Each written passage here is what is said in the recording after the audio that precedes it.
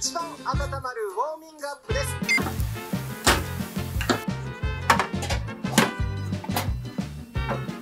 いただきます。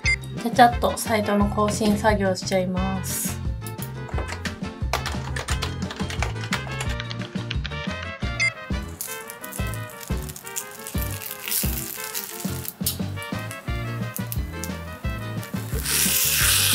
なんだか無性に焼きおにぎりが食べたくなったので焼きおにぎり醤油と味噌です。いただきます。ででん本日20日は iPad 仕事術。この本のね発売日です。実は表紙に私の名前が載っている記念すべき本なんですよ。ってめちゃめちゃ反射してるんですよね映ってるかな。はい。こんな感じで載ってます。そんなわけで iPad 仕事術の中では手書きアプリの紹介を見開き1ページ分掲載してもらってたりするのでちらっとね映ってたりするんですよ。というわけでよかったら皆さんチェックしてみてください。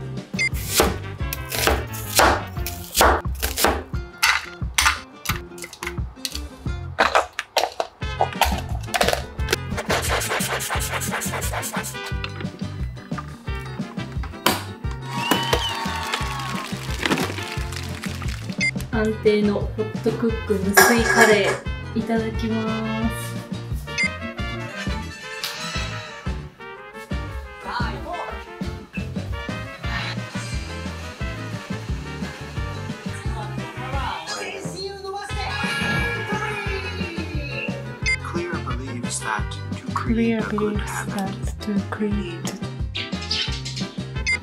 朝食プロテインいただきます。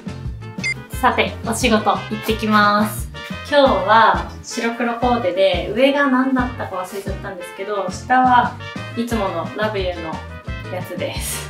でバッグもいつもの変わるビジネスリュックミニです。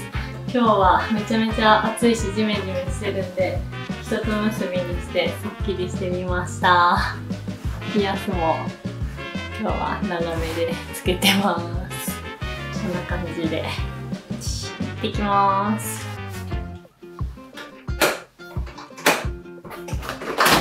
よいしょ帰ってきました。そして早速なんですけど今日届いていたこちら開けていきます。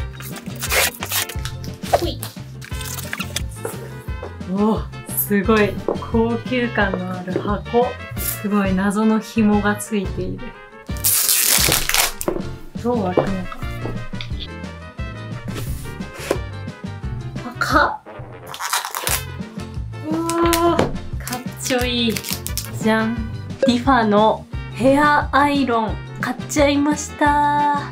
これねいろんな YouTuber さんが紹介しててちょっとずっと気になってたんですけど思い切って買っちゃいました。いやかっこいいですね。でこれ見た目はもちろんなんですけど結構美容室とかでも使われてるぐらい本格的なストレートアイロンとなってましてあの結構ね髪にも優しい感じになっているらしいんですよ。そんなわけで早速こちらで今日ずっと髪を結んだりこの湿度たっぷりの中歩き回ってうねうねしてるこの髪をまっすぐストレートにやってみようと思います。140度に設定できたのでやってみます。おおこれは梅雨の時期活躍してくれそう。検索が届いているのでまた指摘事項をノートアプリのネボの方にまとめていきます。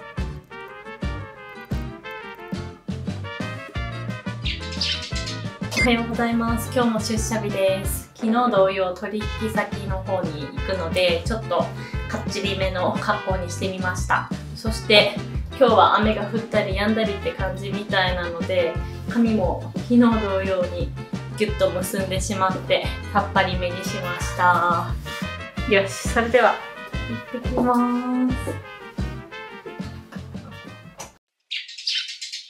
おはようございます。昨日ね、映画の犬王を見てきました。お仕事終わりに見に行ったので結構帰り遅くなっちゃって、今朝はめっちゃ眠いです。でも映画めっちゃ良かったです。見てない方いたらぜひ見てほしい。すごいなんか一枚一枚の映画ね、めちゃめちゃ芸術的だし、音楽の部分はめちゃめちゃ良くてすごいライブ感があって面白かったです。今朝は甘酒いただきます。今週の Vlog 仕上げちゃいます。今夜はだいぶ不思議な組み合わせ。この前焼きおにぎり用に作った味噌タレが美味しかったんで、味噌田楽を作ったのと、さっぱりお茶漬けです。いただきます。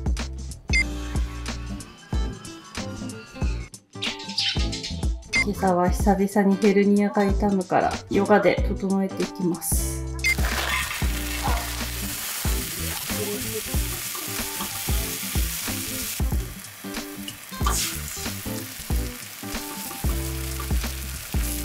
いただきます。